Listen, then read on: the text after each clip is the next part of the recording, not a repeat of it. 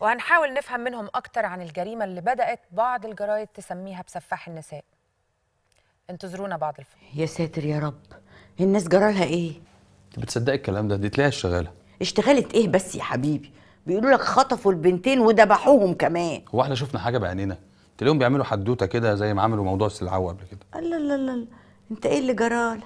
إيه اللي قلبك على المذيعة دي؟ ده أنت ما كنتش بتصدق حد اللي هي. كلهم كدابين.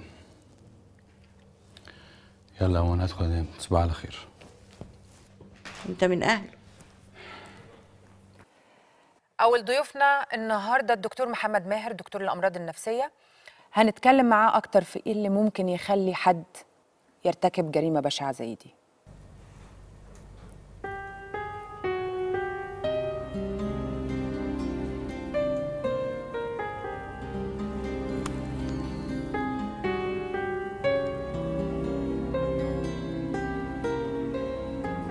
قول لي يا نادر.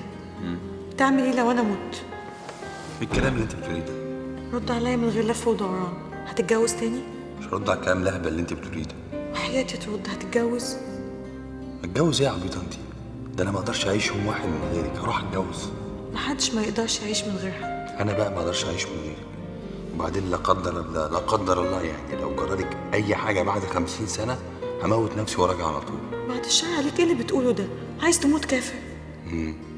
طيب لو كده بقى يبقى مفيش قدامي غير حل واحد بس. إيه؟ تتجوز. عايش ميت. لغايه ربنا ما يجمعني بيكي في الآخر. تحبني بجد؟ بحبك. بحبك لدرجة إن أنا فاكر الدنيا كان شكلها إيه قبل ما أشوفك. ولا قادر أتخيل ممكن تبقى عاملة إزاي لو أنت مش فيها حبيبي ربنا يخليك ليا. ربنا ما يحرمني منك. بحبك وأنا كمان بحبك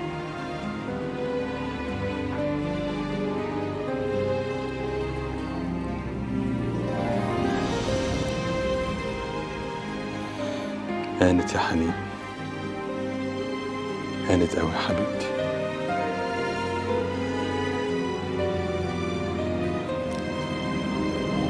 وزي ما شفتوا معانا محدش فاهم حاجة لأن الداخلية مصرة إن مفيش سفاح. وأهالي الضحايا رافضين يتكلموا مع حد. وعلم النفس الاجتماعي بيقول إن إحنا قدام جرائم منظمة واللي بيعملها فاعل واحد وإنه مش هيقف عند الجريمتين دول. أنا عارفة إن في ناس دلوقتي بتتهمنا إن إحنا بنهيج الرأي العام لكن إنتوا عارفين كويس قوي إن إحنا عمرنا ما جرينا ورا خبطة صحفية ولا بروباجندا على الفاضي. إحنا كل هدفنا ان إحنا نوصل للحقيقة ولو في مشكلة ندور لها على الحل مش ندفن راسنا في الرمل. ميعادنا بكرة إن شاء الله وخلي بالكم من نفسكم وخلي بالكم من بناتكم وتصبحوا على ألف خير.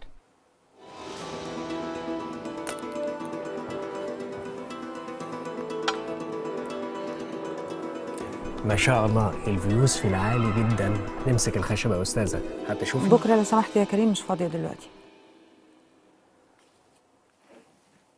ألو؟ دادا آه فريدة نامت؟ طب بقول لك إيه خليكي بايتة عندها في الأوضة. ماشي. لا لا أنا خلصت جاية في السكة. ميرسي يا حبيبتي. يلا. باي باي.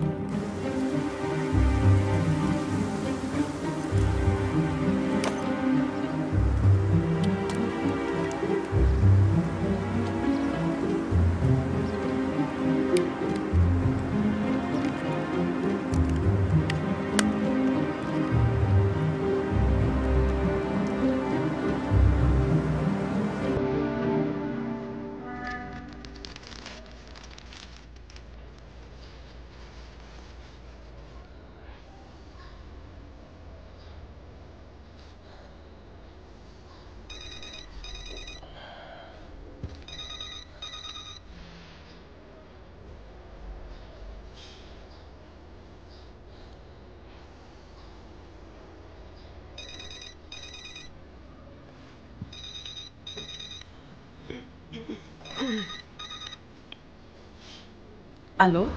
ألو؟ مين معايا؟ أنا شادي اللي قابلتك في المترو واخدت منك الموبايل بتاعك عشان اكلم والدتي. من غير زعل يعني. سامحيني.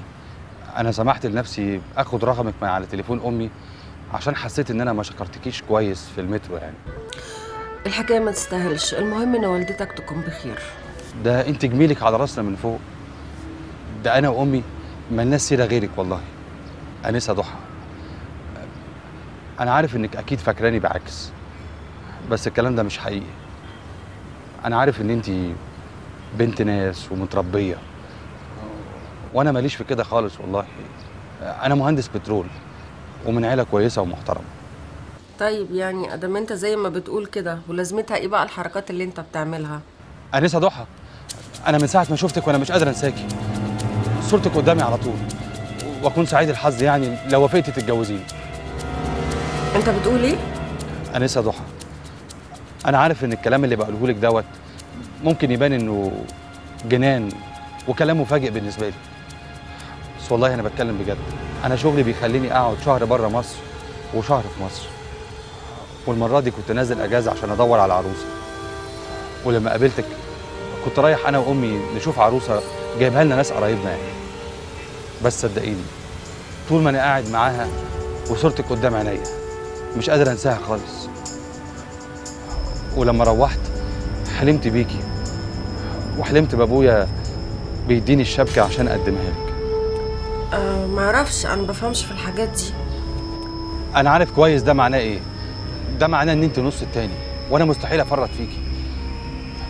أنا عارف إن الكلام ده ممكن يخليكي مخطوفة حبتين. فعشان كده لو تسمحي لي يعني تديني فرصة بس طول الفترة اللي أنا قاعد فيها في مصر أكلمك في التليفون عشان تعرفيني أكتر. ولو قدرت أقنعك بشخصيتي تحددي لي ميعاد مع عيلتك وأجي أقابلهم أنا ووالدتي.